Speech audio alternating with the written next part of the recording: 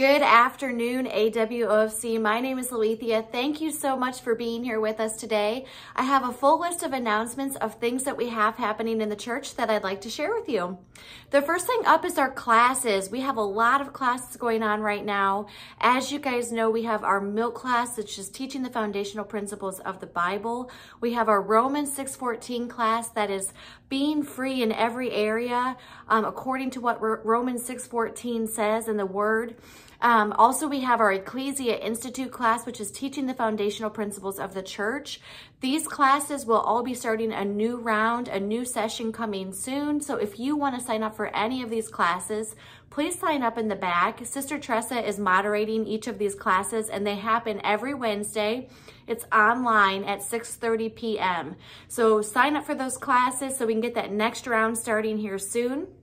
I want to say congratulations to all of our recent graduates in all of these classes.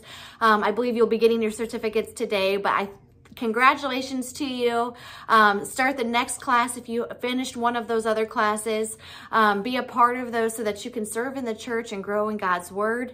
Um, the new class that we have starting here is our Kingdom Finance class. As most of you may have heard, we actually are moving this class to Mondays. These will be for the next six weeks on Monday at 6.30 p.m. here at the church in place of Bible study. So come out and join us and be a part of our Kingdom Finance class.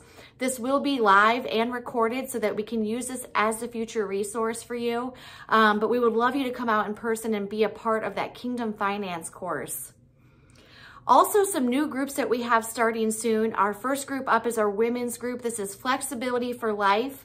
Um, this is going to be a one-time monthly meeting for the ladies to come together and fellowship. It will be a video-led exercise class. Um, for those of you who have signed up to be a host for this class, I will be reaching out to you this week to set a meeting. I want to give you just a little bit of instruction about what this class is going to look like, and then we're going to have a start date for you very soon of when that will have its first meeting.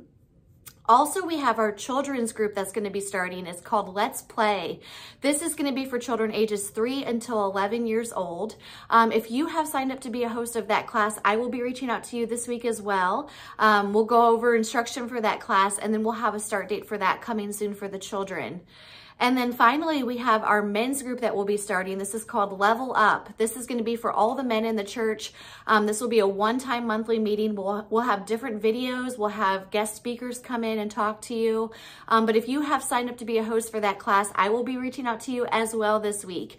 Uh, so be on the lookout for an email or text message for me. Um, I'd like to get this in motion here so that we can go ahead and get those classes started.